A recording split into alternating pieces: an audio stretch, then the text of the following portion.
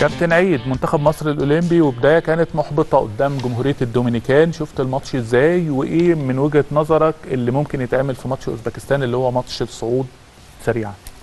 تقريبا كان الماتش اللي فات برضو آه، كان هيبقى ماتش الصعود بالنسبة لي أنا يعني هو آه، كان هيبقى أسهل ماتش في الثلاثه وجهة نظري. طبعاً، يعني طبعاً. ماتش أوزبكستان مش سهل بس برضو الطبيعي إن أنت تكسب الماتش.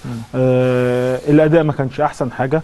بالنسبة للفرص نسبة استحواذ الحاجات دي كلها آه جالك فرصتين ثلاثة في الماتش لكن هم برضو فرقه آه الفرقة الثانية جالها آه برضو ثلاث أربع فرص وكانوا قريبين إن هم يكسبوك والماتش كان equal وهو استحواذ عنده أكتر. آه الحالة الفنية بعيد آه تغييرات متأخرة بشكل كبير جدا وأنا أول واحد بساند ميكالي من هنا وبقول اللي هو مدرب كبير جدا.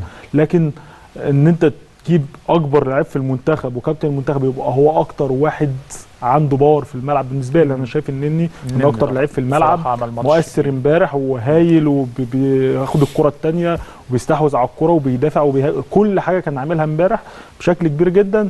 واللعيبة الباقي حاسس إن هم مخضوضين الأجواء جديدة عليهم بره الحاجات دي كلها. فوق فوق كل ده ست سبع لعيبة مش أساسيين منهم النني في انديتهم.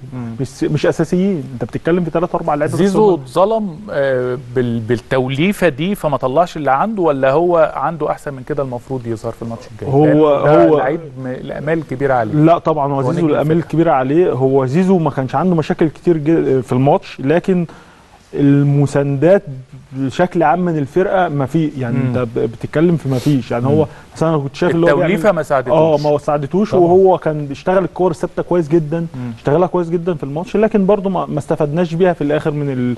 من الحاجات اللي, اللي وصلت لنا واتمنى إن شاء الله ال...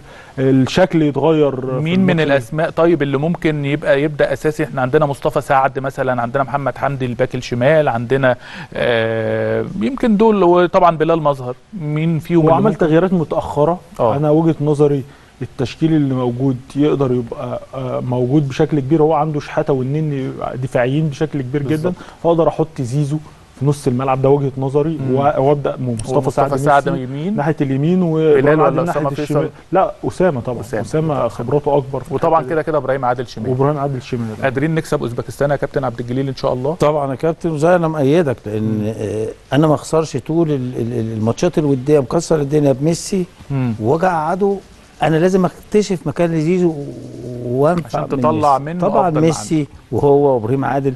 أنا بايد أحمد إن الراجل ده يلعب زيزو شمال وابراهيم عادل إبراهيم. عادل في رقم عادي- 10 عادي ممكن. وقتنا خلص. الأهلي والمصري كام كام؟ 3 1 للأهلي. آه، الزمالك وبيراميدز؟ مش عارف حاسسها 2 2 يا احمد طيب آه، كابتن أحمد أهلي ومصري؟ آه الأهلي هيكسب فرق جول. آه، الزمالك وبيراميدز؟ تعادل. طيب هنشوف التوقعات بتاعت الكباتن الأسبوع الجاي. لا لا لا يا شيخ آه،. خلاص لا أنا خلاص أنا. خلصت مش هلحق أنا هنا. ما بتوقعش. طيب. شكرا لكم كانت حلقة ممتعة بالنسبة لي. إن شاء الله يكون الأستاذ محمد معاكم إن شاء الله بإذن الله يوم الأحد الساعة 11 بشكر كابتن أحمد عيد شكرا جزيلا. بشكر كابتن عبد الجليل شكرا جزيلا. نلتقي على خير يوم الأحد إن شاء الله.